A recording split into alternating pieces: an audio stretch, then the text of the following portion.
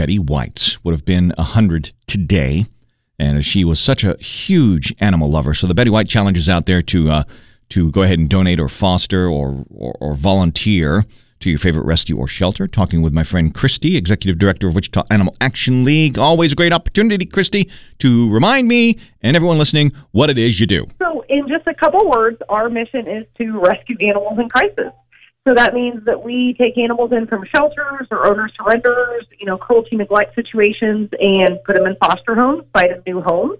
We have a welfare team that goes out. We have a number of different community outreach programs that we utilize to try to improve quality of life for animals in our community and oftentimes improve quality of life for their owners as well.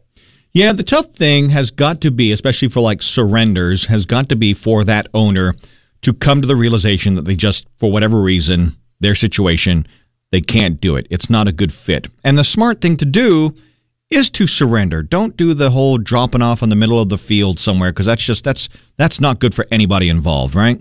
Oh, absolutely we run a lot of programs too that you know we try to offer like uh, free dog training, for example, for low income owners. Um, you know, very low cost spay and neuter options. You know, veterinary repayment programs. So if people are struggling and are considering, you know, having to rehome their dogs.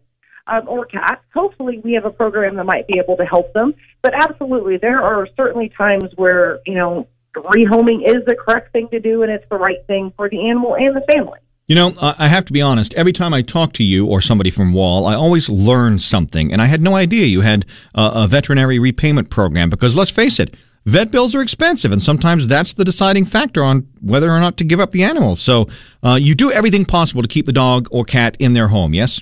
we truly we truly try. Yeah, and that's the important that's the important thing. You have a great group of volunteers and so many great programs here in the Wichita area. So if someone wants to donate to you uh, as part of the Betty White Challenge on Betty White Day today, what's the best way they can donate to your cause? So we will um, obviously they can go to Facebook if they want that. They can also go to our website at any point and click on the donate button.